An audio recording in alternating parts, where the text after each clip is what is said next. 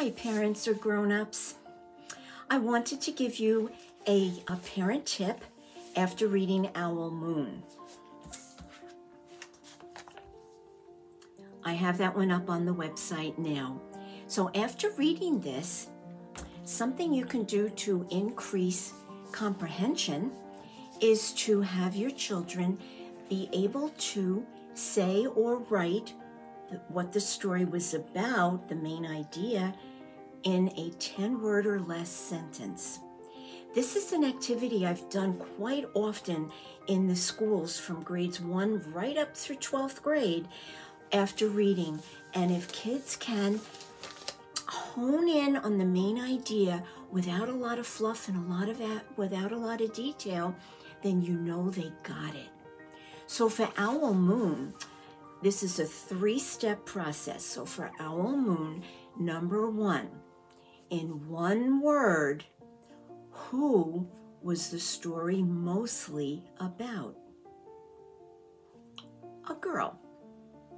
Number two, what was the most important thing she was doing?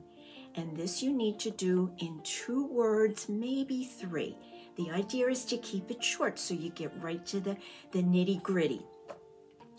So what was she doing? Owling.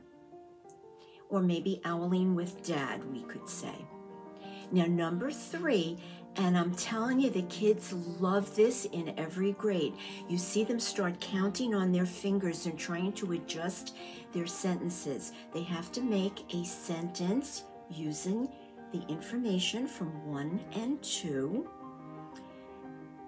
to write a sentence 10 words or less.